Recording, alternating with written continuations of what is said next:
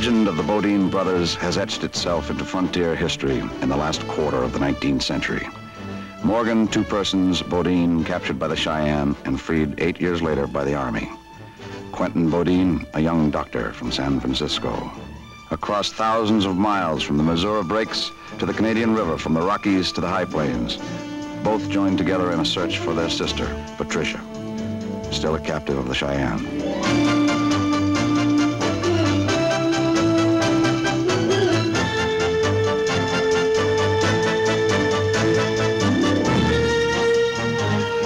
Legend of the Beaudine brothers. This is their story. This is the quest.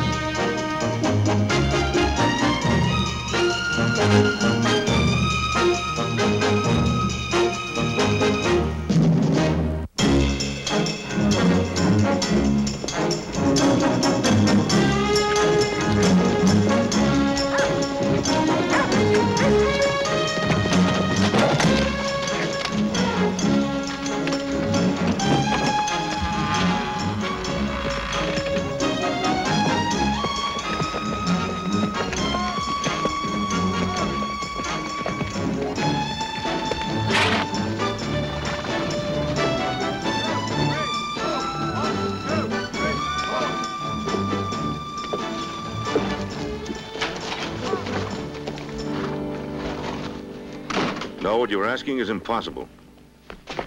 I'm sorry. Captain, hear us out before you make the decision. I just made it. Didn't you hear me? We hear there's a band of Northern Cheyenne in the area. That's not a secret.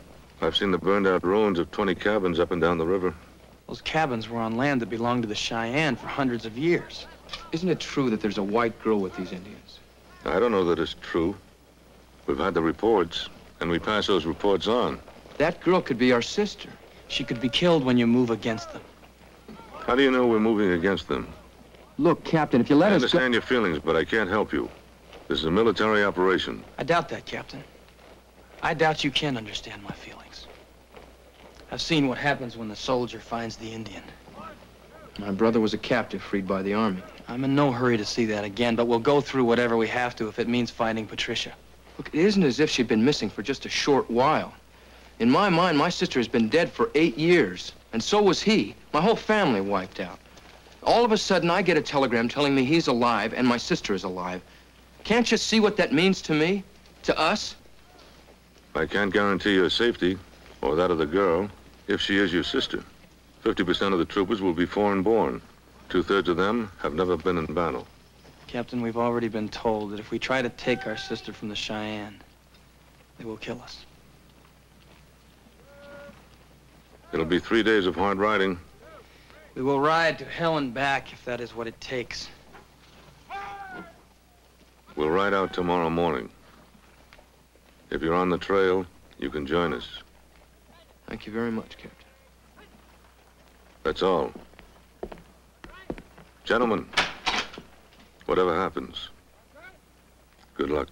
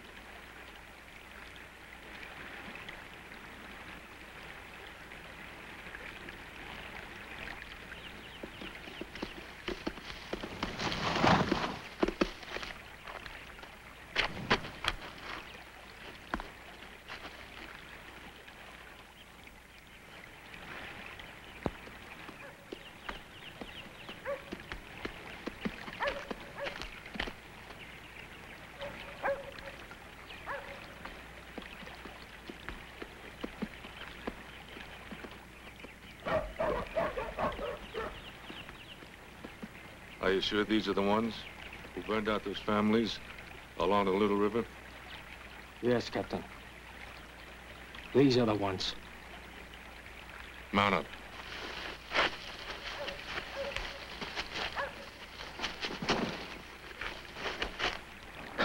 Take your men around back. Make sure you deny the Indians access to their horses. Mount up.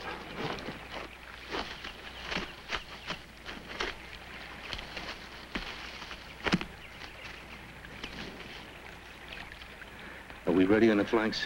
Yes, sir. They were moved when the first shot. Good. Come on.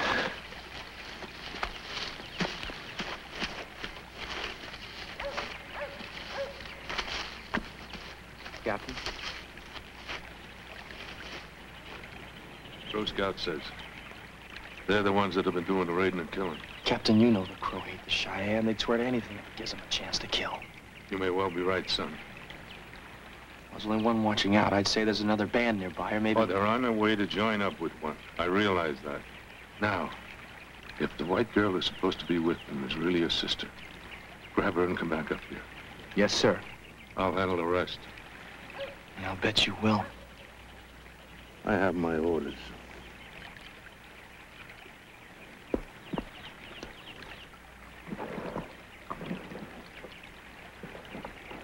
Maybe this is it. What's wrong, two persons? I remember how the Army saved me from the Cheyenne. If it hadn't been for my light hair, believe me, Quentin, I wouldn't be here now. That's right, neither would I. Because I wouldn't have known either Patricia or you were alive, but we've spent three months and come a thousand miles. We're looking for our sister. They're out hunting hostiles. I know that. But the Army's going after these people one way or the other, and if Patricia's down there, we got a good chance of saving her. And the, uh, the captain's pushed these troopers hard for three days. Well, maybe we ought to be a little grateful.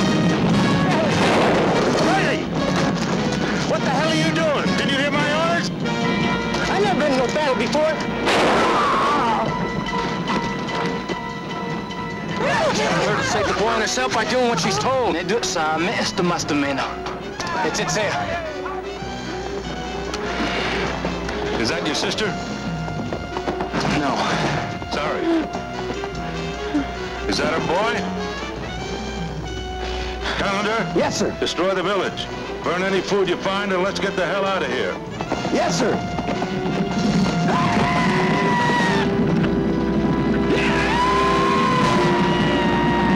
That's the way they make war, son.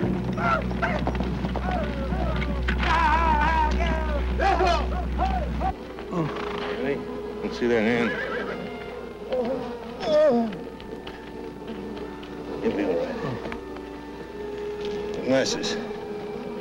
Call up the wagon for the wounded. Bury the dead. Get their papers.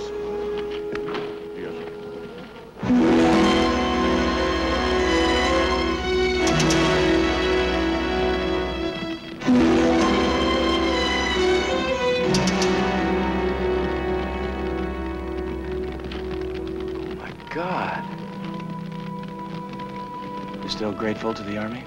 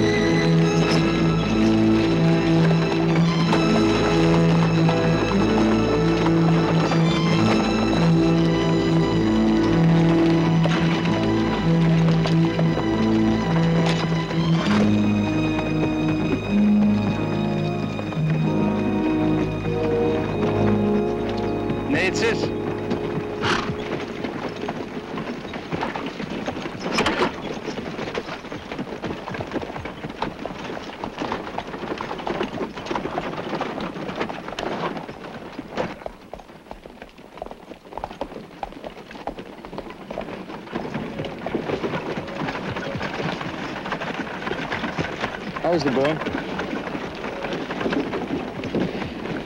How are you?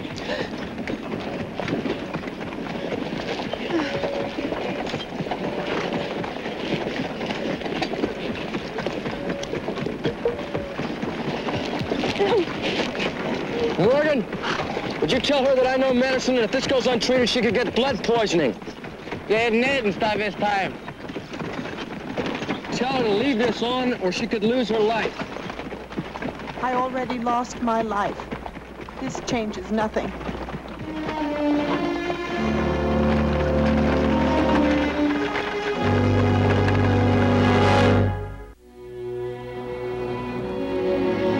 His papers show that Private Charles Riley was born in County Clare, Ireland on September 12, 1847.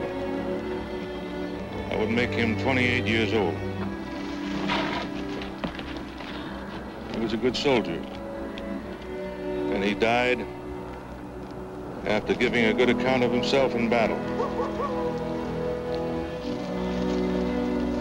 May God have mercy on his soul. Amen. He ain't even been in the army but only three months. Naro hestot, nestutia eros tanefa. Nistwis nedot semhayo. And I don't know if Cheyenne understand what she just said. She said we're gonna all die up here, didn't she? All right, then, if we're gonna all die up here, then uh, guess there's, there's no sense of bringing this. Ellie! Get off, Kelly.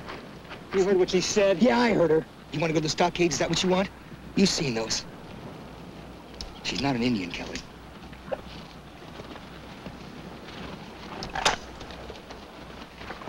Put it away.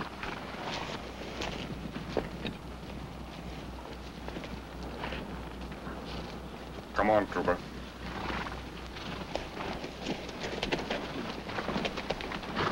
Maybe she's right. What's the condition of the wounded, Sergeant? Sir, I just looked at him. That I got two in pretty good shape, and there's two I'm really worried about. Thank you. I'd like to talk to you. Want a shot? No, no, thank you. Brother's not too happy with what happened today. I guess I can't blame him.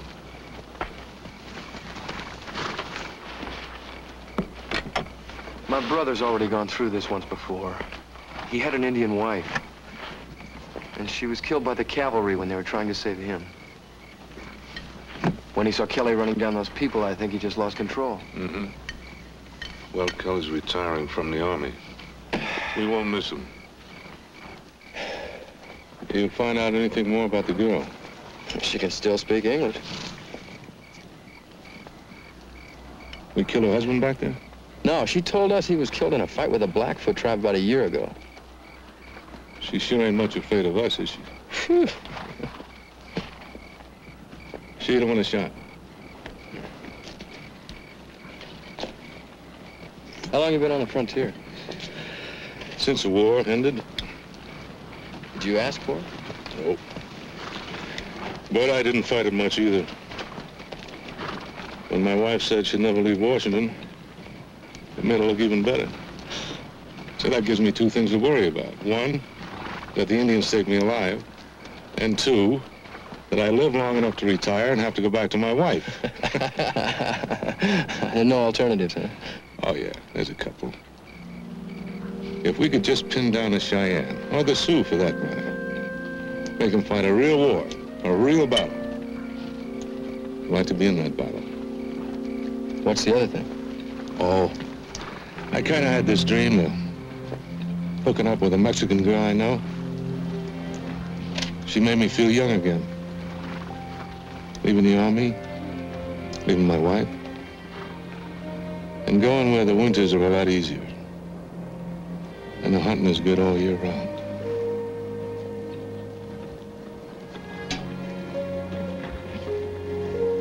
Captain, I better check the men. Oh, yeah.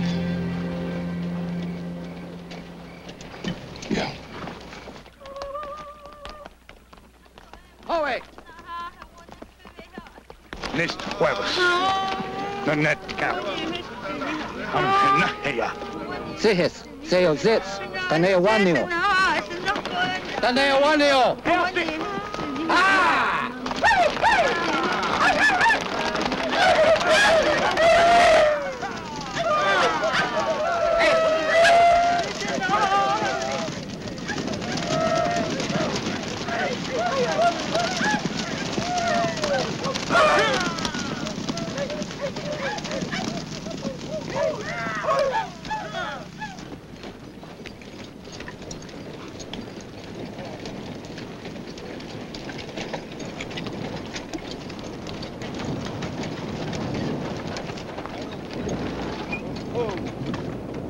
Captain!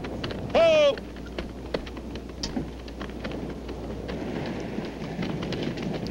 Big fast. The captain's here, sweetie. What is it, Jorgensen? This is Captain Wilson.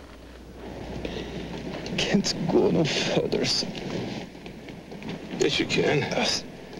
You made it this far, you can make it the rest of the way. Nay, nay, sir. Stomach all short away. What he says is true, Captain. Blood coming through the bandage. He lets out a yell every time we hit a rock. Hurt less. Leave me. Leave me dead, just. I can't leave you to the Cheyenne. Then, Captain, you go, got to help me make it last away. Last away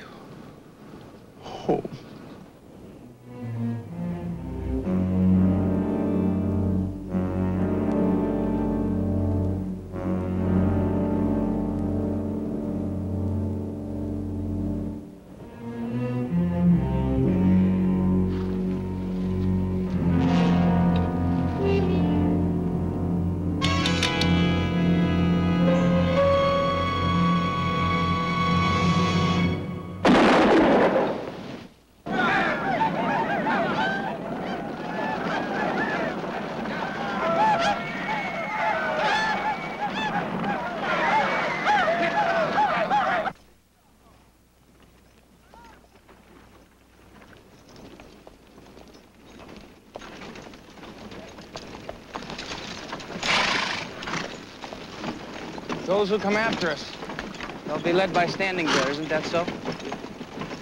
Yes, my husband's father. The woman that he finds will tell him that it was my brother who took you and your son away. Yes.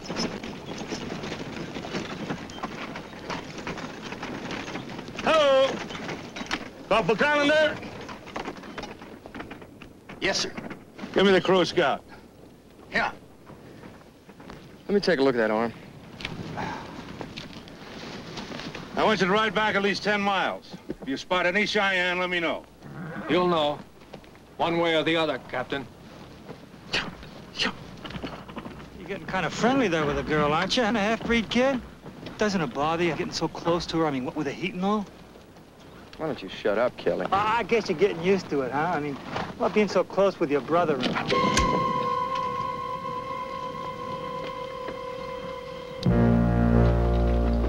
guess I can kill a man wearing that uniform in cold blood.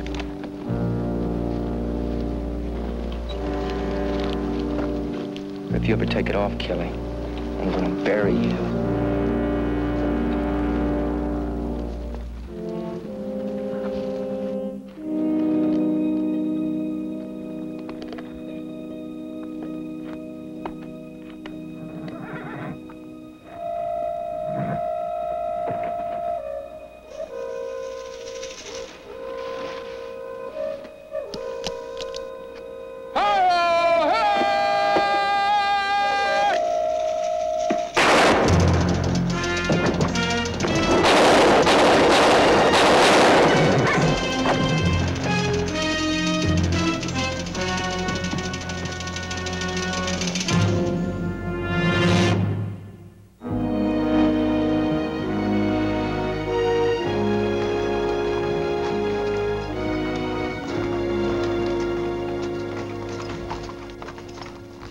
Only child?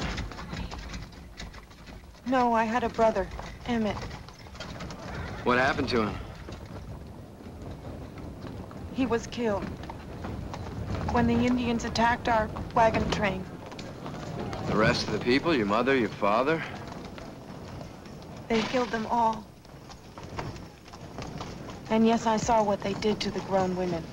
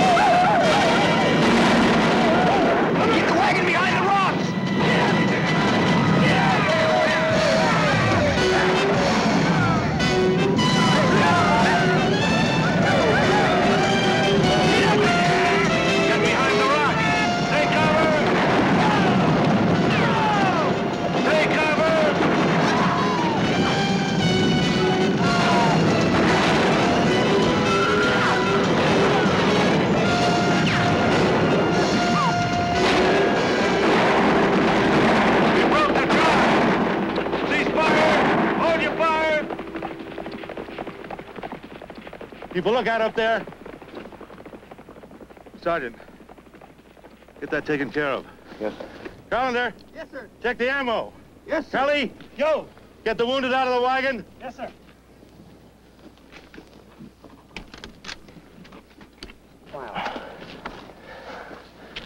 Everything all right here? Yeah, are they getting ready to attack again? You can relax. They won't attack at night. It'll be dark soon. I'd take a chance and make a run for it at night. But I can't do it with the wounded. What do you mean, we just wait it out? With the wounded, we have no choice. Easy, Trooper. We'll take care of you.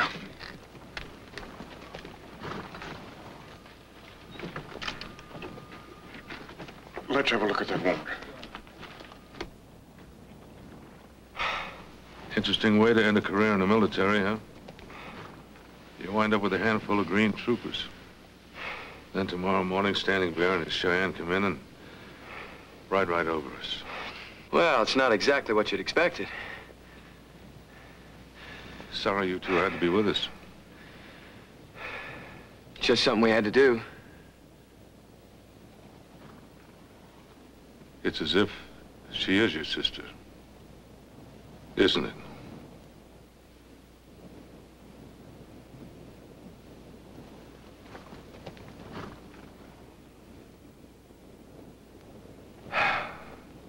It's up to Standing Bear now.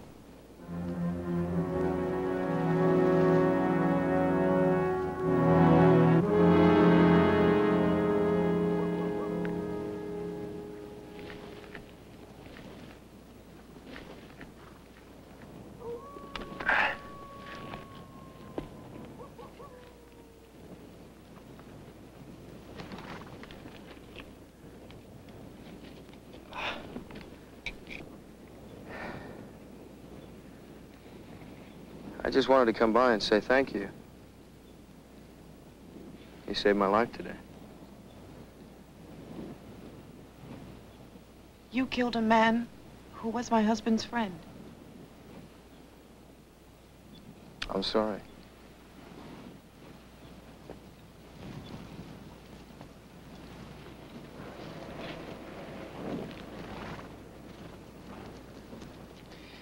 Captain, maybe we could send a man out tonight.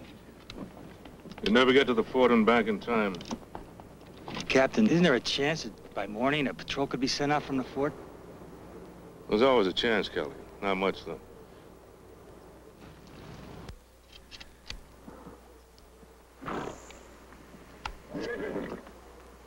Captain Wilson, may I speak with you a moment? Captain, I... I know you never considered me much of a soldier, but... Sergeant, according to General Sherman, anyone with a Prussian-sounding name must be one hell of a fighting man. I come from Bad Cannstatt, Bavaria, not Prussia. My father was a baker, so was his father. Nothing wrong with that. Yeah, but what I wanted to say, sir, is that well, you, you can't make a run for it the wounded, and if you stay, they will overrun us all into morning, and well, the rest of you can ride out. We can stay, fight. It gives you some chance.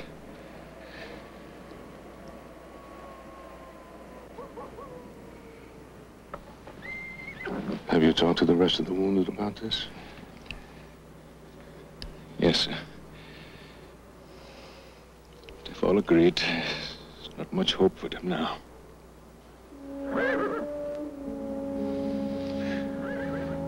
We'll save one bullet for ourselves.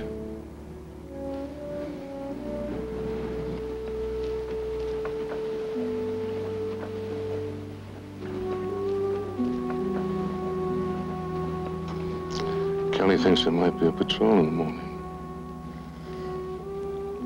No, sir. Chance, Captain. I agree. We'll stay with you as long as possible.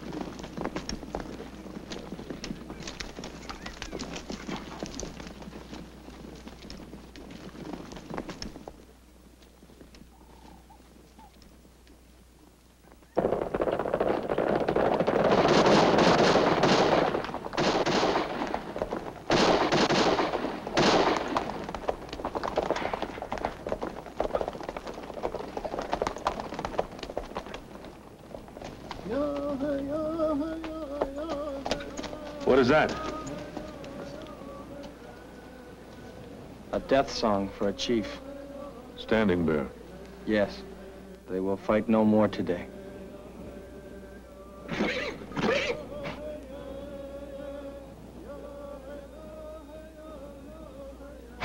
Thank God. It's over now.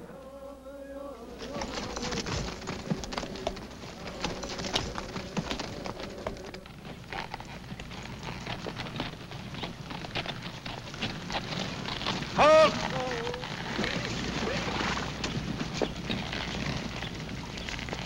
We're going in. We're going in as soldiers.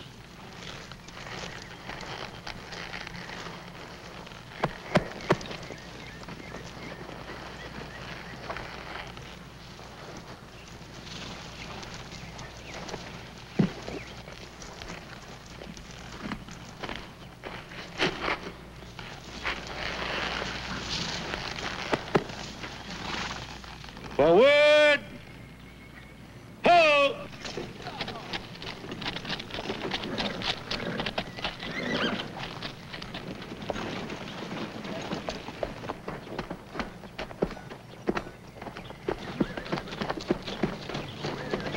They're coming back! They're coming back! Wilson and the troops.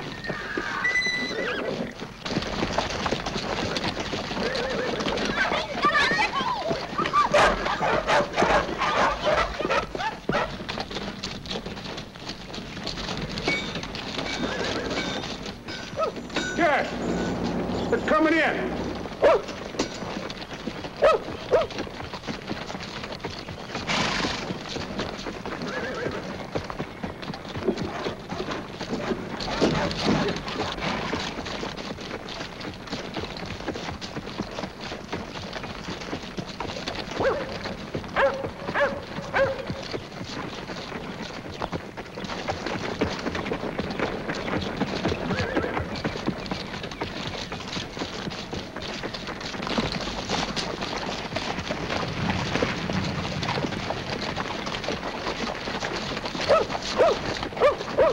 John!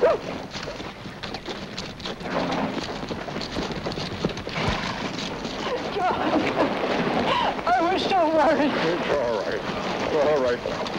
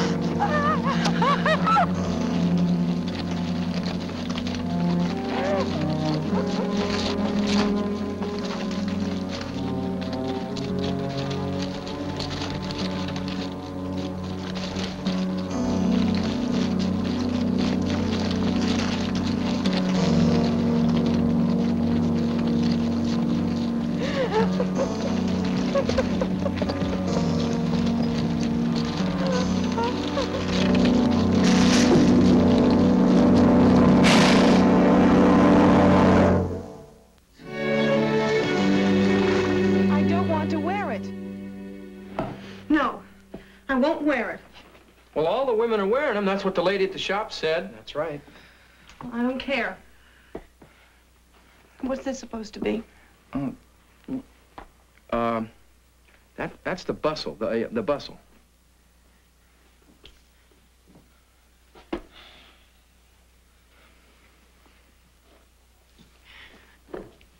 How does it go?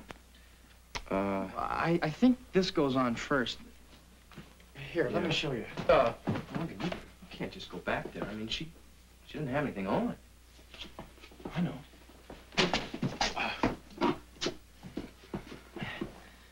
Uh, turn around here.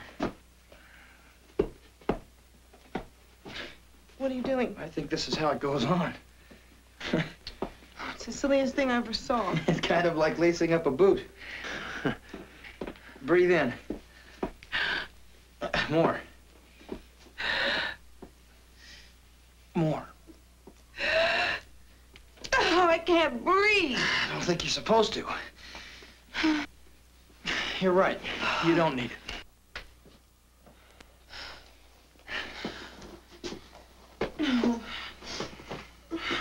Layers, layers.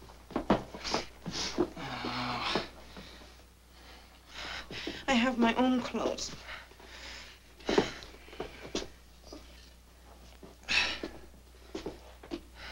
There. That's it.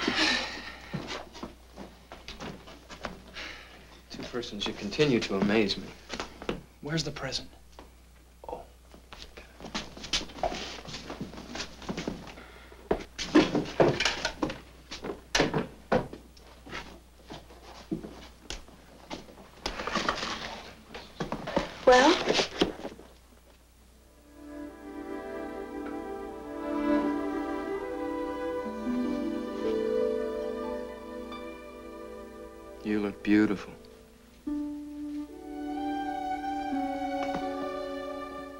And we a present.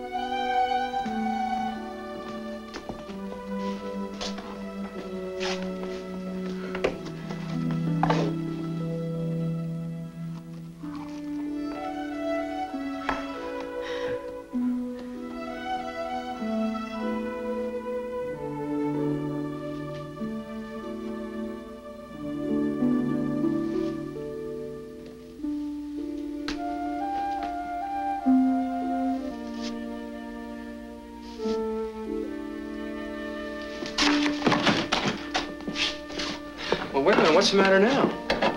I think it's been a long time for her. It's like wondering if you can ever go back. Or even if you want to go back.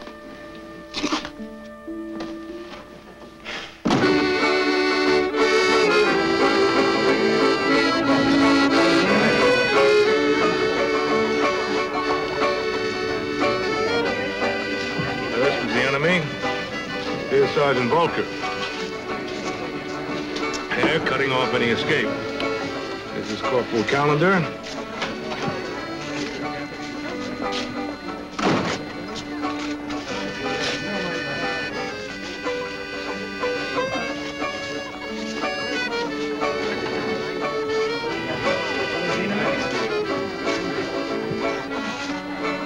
Gentlemen, guard the battlefield. I'll be back in a minute.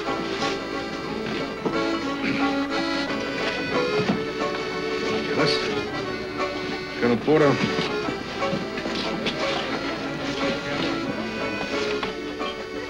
Colonel Porter, I'd like to present Miss Charlotte Ross and Quentin and Morgan Beaudine. Evening, sir. Well, I want to welcome you to the dance, which honors Captain Wilson and the men of Troop B, which effected your rescue. We had a few losses, but then losses are to be expected. But we would do it again tomorrow if we could rescue another white woman from the hands of those savages. Charlotte, if you haven't promised the first dance to one of these young men, I would like to have it.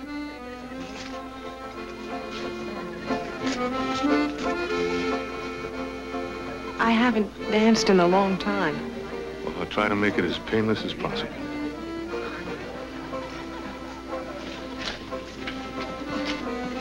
Miss Hathaway, I have changed my mind.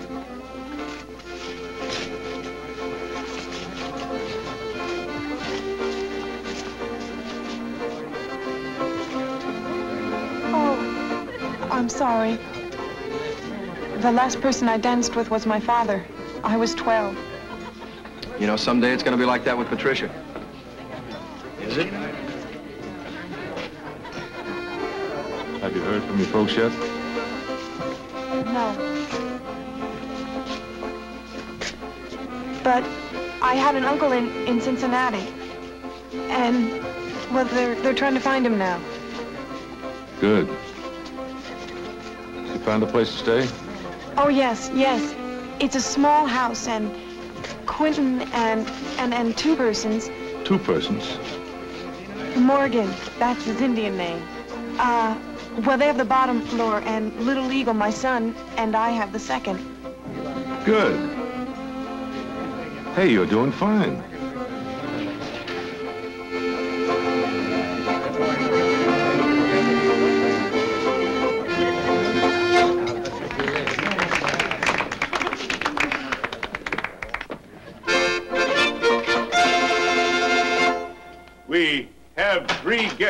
Us this evening who have just come back from particip...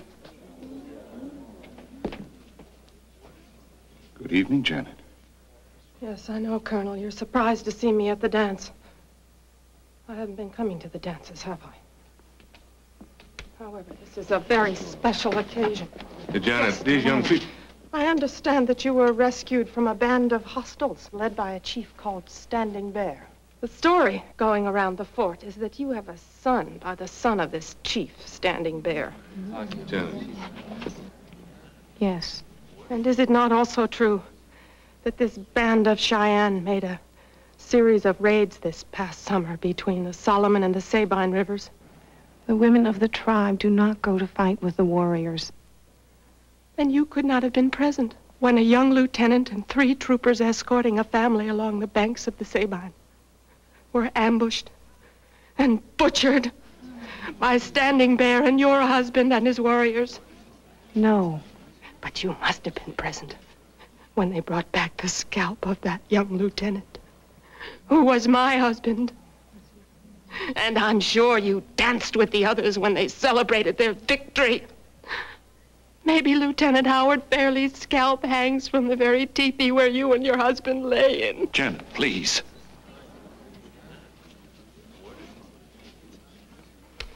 I will leave now, Colonel.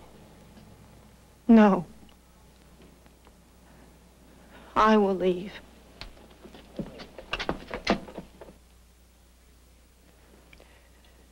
Three days ago, my people were killed in battle, too, and the Crows scalped them. Are you any different?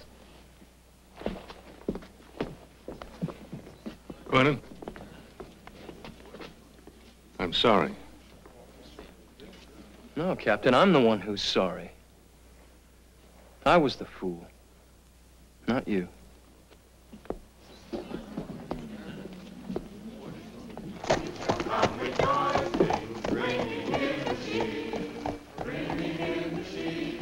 Ringing in the sheaves, we shall come rejoicing, sunshine, sowing in the shadow, fearing neither clouds nor winter's chilling breeze. By and by the harvest and the labor ended, we shall come rejoicing, bringing in the sheaves, bringing in the sheaves, bringing in the sheaves. We shall come rejoicing, ringing in the sheaves, ringing in the sheaves, shall come rejoicing, ringing in the. My, my, that was nice. You're all in fine voice this morning, and it's so nice to have you back with us this morning. Now, to close the service, let's turn to page 14. Even me, even me. Sarah?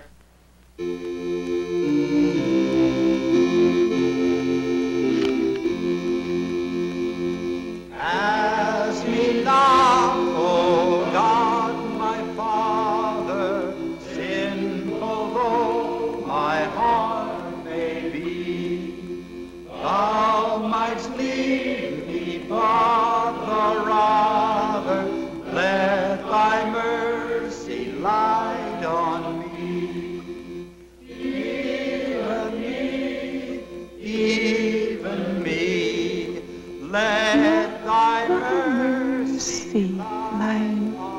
on me.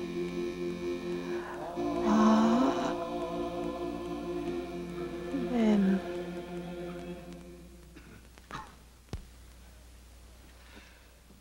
Well, thank you so much. And remember, God gives us 24 hours a day. We can give him two hours on Sunday. See you here next week. Thank you for coming.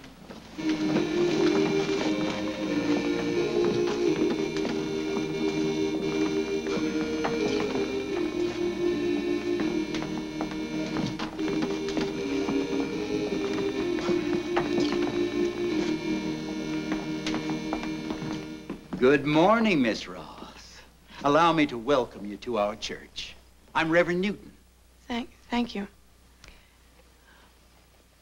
This is, this is my son, Little Eagle. Well, now, he is a fine-looking boy. Good morning. Well, ah. I want my son baptized. You Indian dog! You dirty half-breed! Get out of there! Get out of here! Leave him alone, you bunch of flies. Go on, shoot. Get!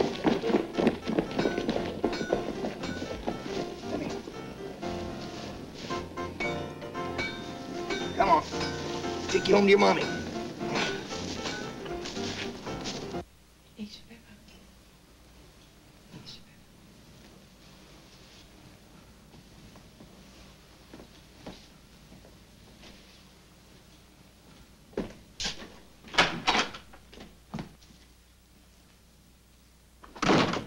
Got him out of there as quick as I could.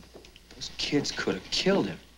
I think we ought to find the parents and we ought to Quentin, talk to if they had killed him, do you think they would have done anything? You think they'd take a lot of trouble over a breed son? What happened? They began by teasing him, the local kids. It won't happen again. What happened? They called him a dog. And they said that his mother slept with dogs. So naturally he fought.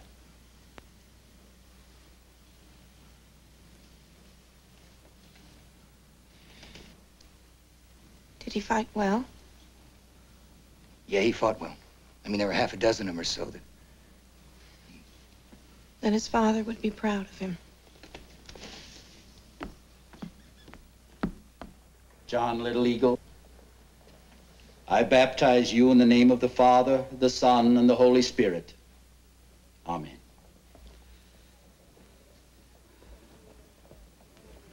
This child of God is now received into the Holy Catholic Church. See what love our Father has given us, that we be called the children of God. And we are.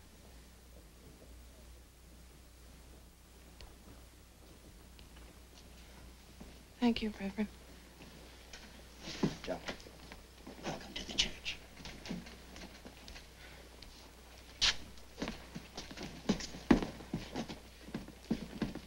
Quentin. Since Miss Ross attended our service on Sunday, I've received a dozen visits from wives in the congregation. I see. Well, they say that, well, what they say is if what they call the Indian's woman and her child are in church, they prefer to pray at home. And that would cut your congregation considerably. I'd be happy to meet with her anytime uh, to counsel her. Well, I'll tell her that, Reverend. I'm sure that'll make all the difference.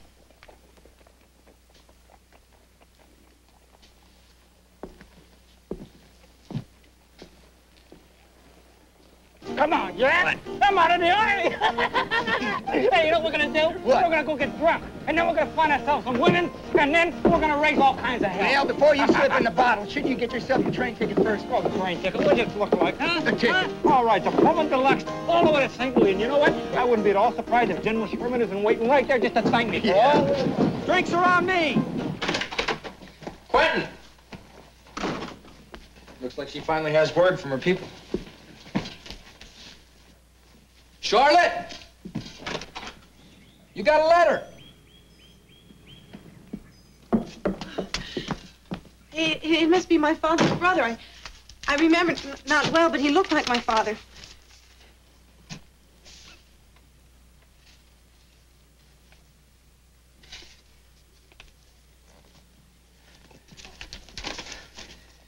Dear Cousin Charlotte, we were both pleased and thrilled to learn that you are alive and have been rescued. As you may not know, both your father's brother, Ephraim Ross, and his wife have passed away. Prior to their deaths, the court, believing you and your family long dead, awarded them the house on Mall Street and all other property. Quentin, I don't understand this. As you know, these are hard times, and upon our parents' death, we were forced to sell almost everything. They're sending you a bank draft for a $100, which is all that remains of your parents' estate. If you ever decide to return to the East, be sure to visit us. Your loving cousins, Charles and Mary Ann Ross.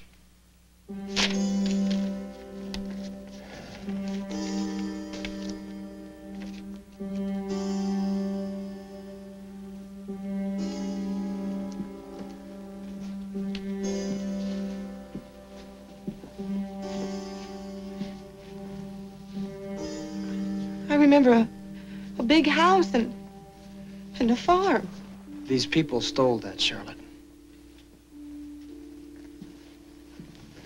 I think maybe two persons is right, Charlotte. It looks like they're paying you $100 to get you off their conscience. Your loving cousins. Ła własnego. Eko sacie się to zehejo. No Indian tribe would treat their own people that way. Look, Charlotte, all white people are not like that. I think it'd be better if you just forgot about them. No, I don't want to forget. I want to remember. I want to remember when Little Eagle and I go to the Cheyenne. You can't go back, Charlotte. I was Gray Eagle's wife. I have his son. But the warriors saw you riding with us. Some of them may have seen you save Quentin's life. I was part of the tribe. You were part of the tribe when they thought you were with them. The same was true of me. I can't go back now either.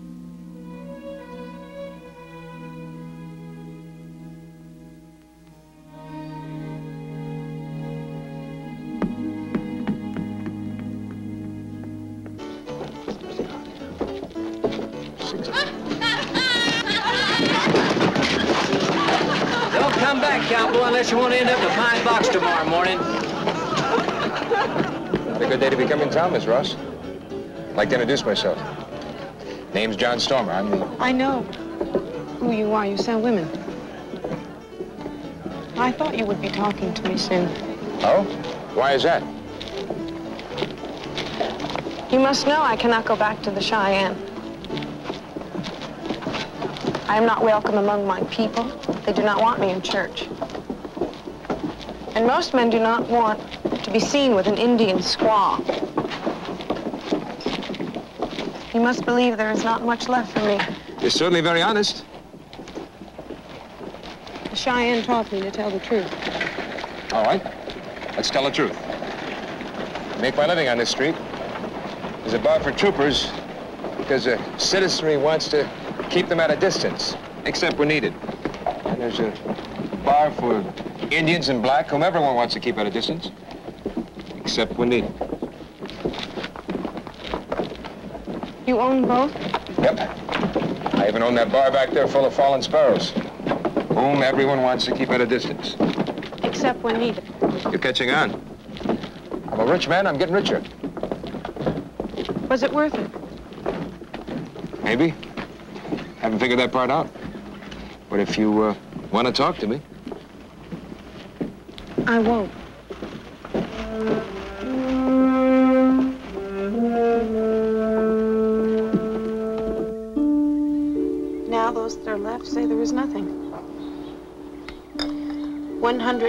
And do not bother them again. I hoped it would turn out better for you. But I kind of figured that would happen. How do you mean? Oh, I lost my parents when, when I was young, and was taken in by an aunt and an uncle. Which just means that I was unpaid help. Till I ran away and joined the army. It's good coffee. You ever go back to see them? No. I, uh, I write my aunt once a year and get a letter in return. She just tells me how times are hard and that her arthritis is bad and who's died since I last wrote. And then she, uh,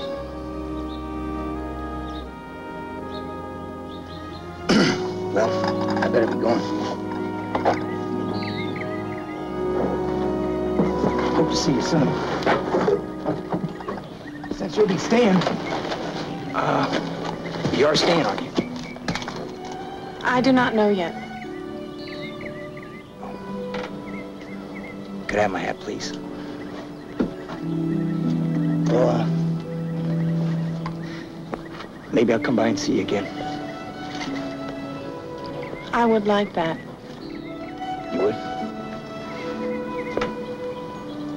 You that's the first time I've ever seen you smile. Bye-bye.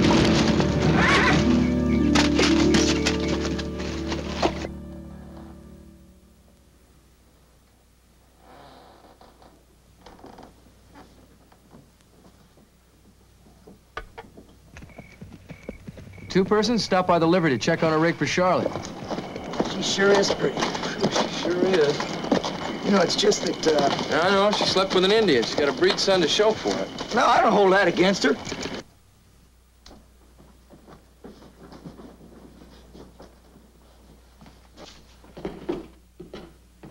Quentin? Two persons? Going to St. Louis, so I just thought I'd pay you a farewell visit. Get out of here. This is the one I thought it was so funny when they buried the first trooper. I said get out of here! Body's every bit as good as you said it was, Kel. Oh, that's for sure. No! No, leave me alone, please! No! Oh, please, please, wait, wait, my son, my son, please wait! Please, no, my son, my son!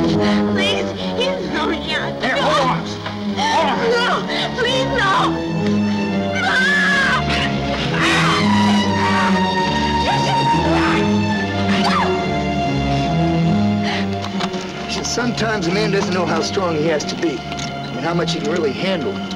You know, with people...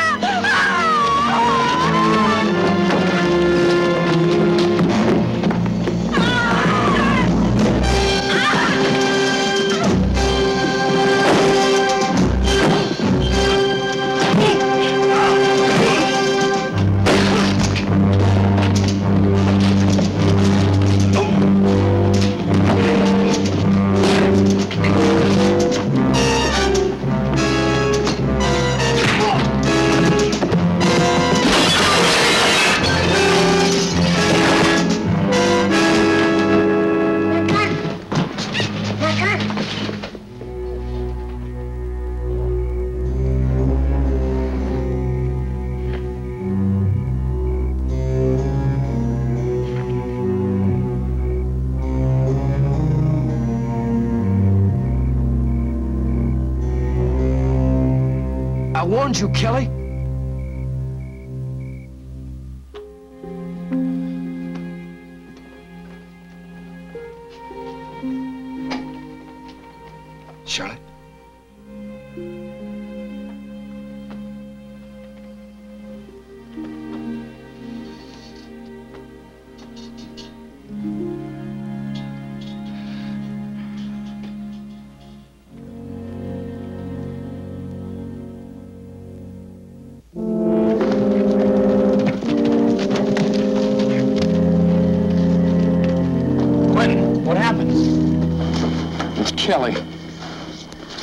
Charlotte, threw him out the window and broke his neck.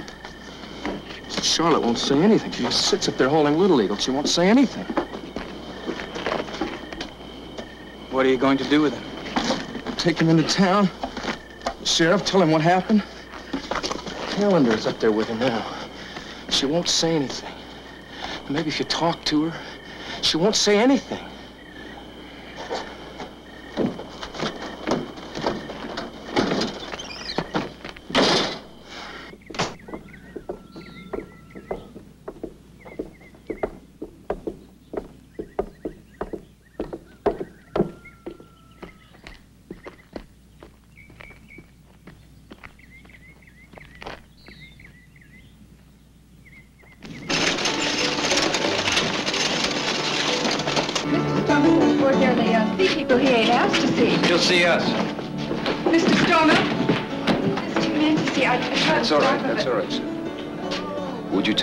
Tell Jess Curly to come in, please? Afternoon, gentlemen. Have a drink? No, thank you. Hi, Charlotte. Quentin?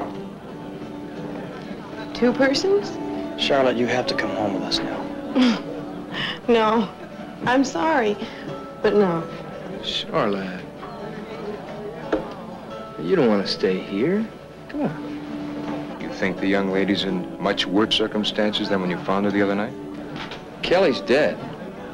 So there's some justice in the world. But I can't see that it changes things much.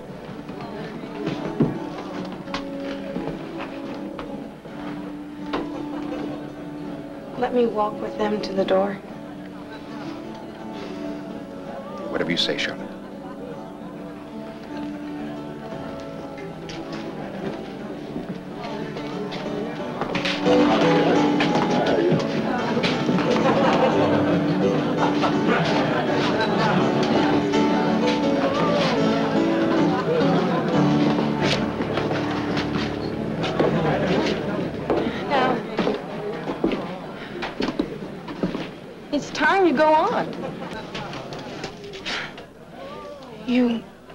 Find your sister. You must forget me and go find her. Charlotte, where's Little Eagle? Many of the other girls have children. There's a, a room upstairs, a nice room. If you'd stayed with the Cheyenne, Little Eagle would be the son of a warrior. Grown, he'd be a warrior himself. Do you want him to grow up the son of a... He will not. I. I will save money. And when he grows up, he, he will go to school in the East, where nobody will know. Nobody cares where money comes from, do they, Quentin? Charlotte. Fine schools. Good teachers. He will have a good life.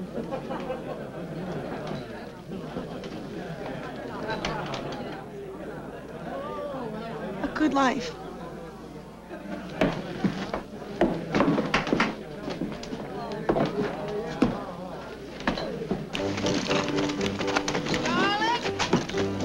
Charlotte! You're starting off in good style, honey. He's offering five dollars.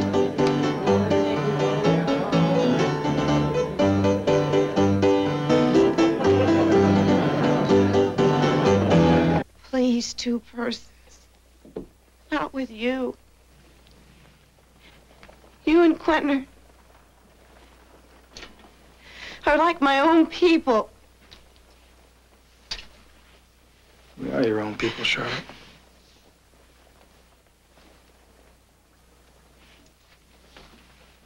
Don't you see that in a month, you'd be drinking twice as much as you are now? In a year, you'd be one of them. Then where would Little Eagle be?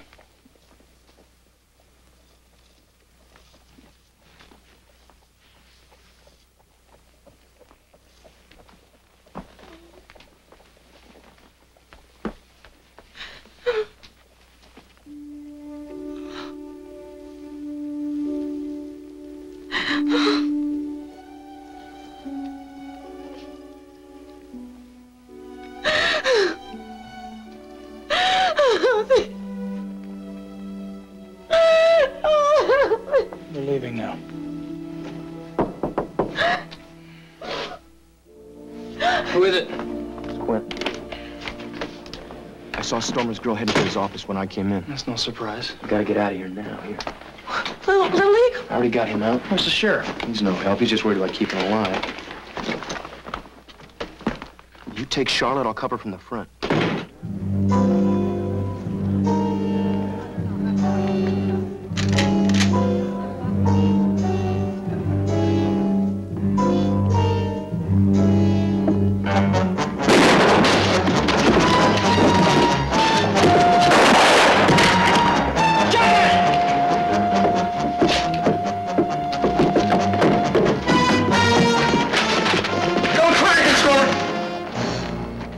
Some wisdom to what you say.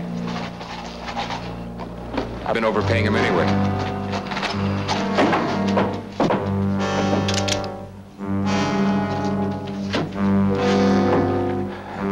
Sorry to see you go, Charlotte. If, uh, you should change your mind. I'll probably be in business here for some time.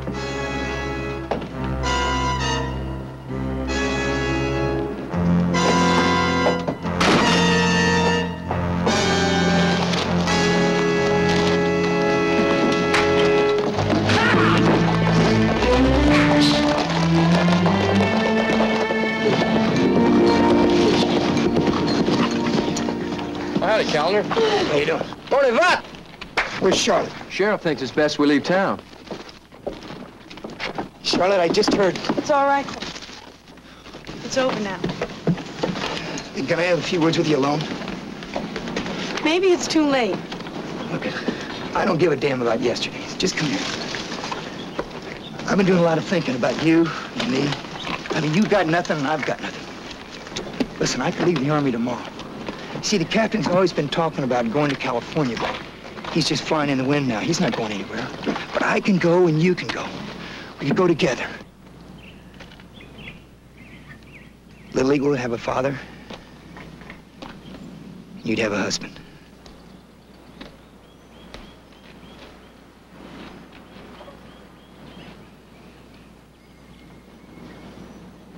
Seems to me when two people get married, they're supposed to be in love. Woman, look, you're talking to a poor trooper. A man with no family, no education, nothing. I mean, what do I know about love? Why are you so mad? Look, I'm not mad. I'm just, just trying to make some sense. Sure, I'd like it if you loved me. I'd like to be rich and famous, too.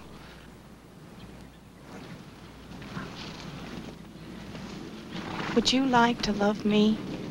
Hell yes. Why else would I be here?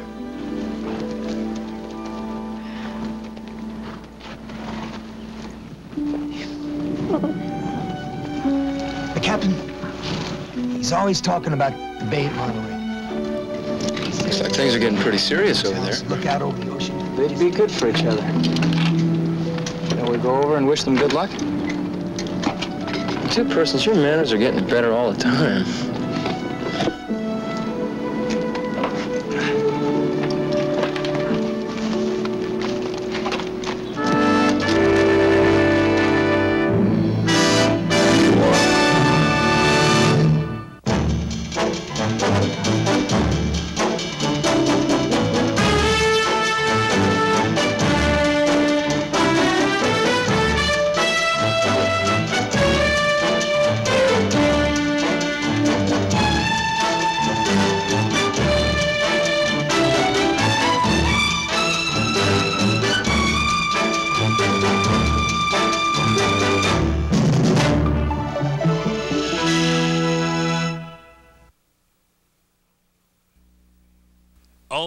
Available on video cassette from Vidmark Entertainment. Here are some scenes of Quentin and Two Persons Beaudine in another Western adventure, The Longest Drive.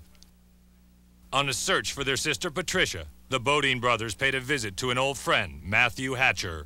For those of you who don't know me, the name's Hatcher. I got 1,500 head needing to move up to Pueblo. I can pay $20 in a share. That's short up front and long in the end.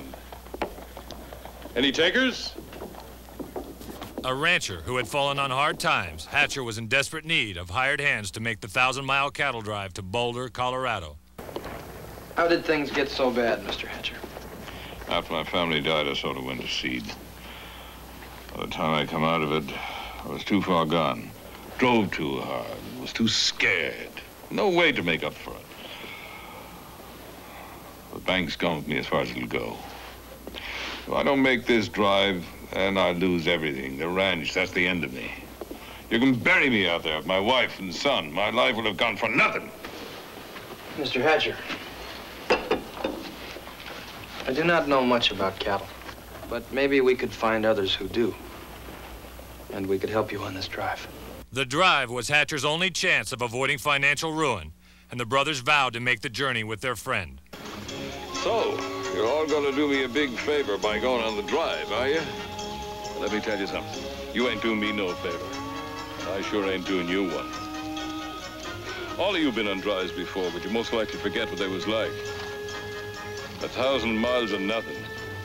Except dirt and grit and hate and sore bottoms and aches in places you wish you didn't have 'em. I said we wasn't going to do one another no favors. Well, maybe I was wrong about that. Because yesterday at this time I wouldn't have given myself a chance in hell of ever getting this drive going. And now, looking at you, I figure we're all gonna make it. Because we gotta make it. Because we got nothing to look forward to except the end of the drive, Pueblo. Because there ain't nothing here for any of us. Nothing. Sign 'em up. Early on, the men got their first taste of hard times to come.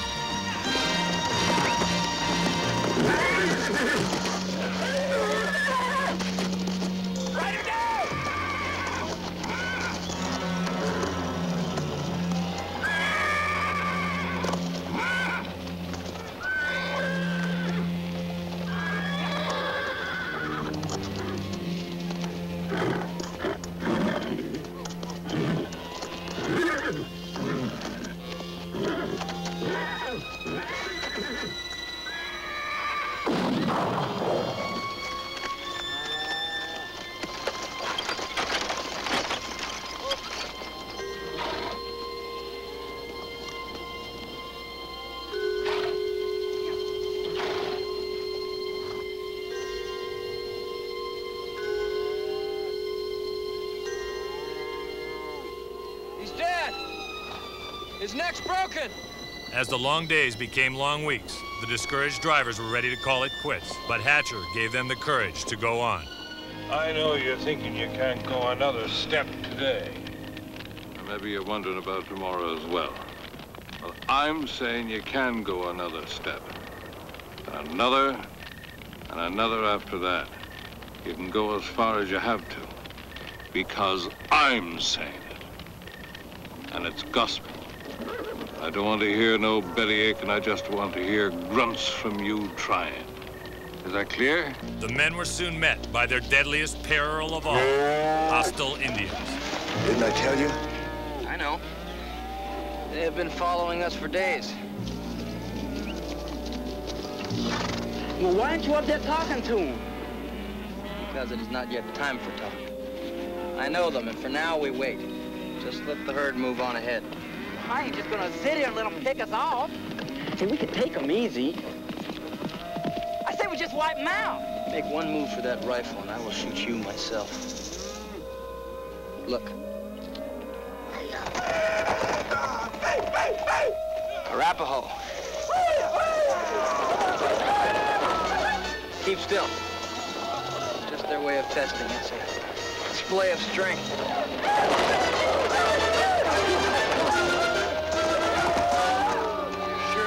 Trying to spook the cattle? No. It is us they're trying to scare. I think it's working.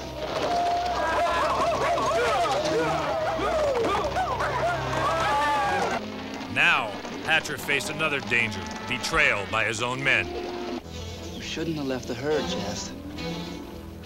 They're gonna miss us. Will you shut up with your belly aching? That herd's all awful jumpy. What with them wolves?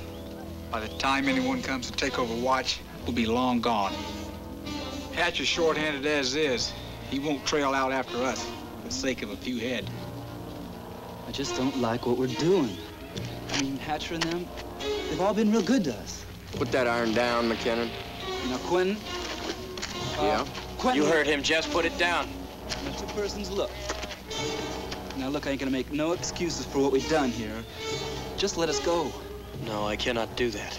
You signed on with Hatcher. You're gonna talk to Hatcher. I don't aim to be the guest of honor, no hanging. Just wait! Jeff, no! Don't fire that gun!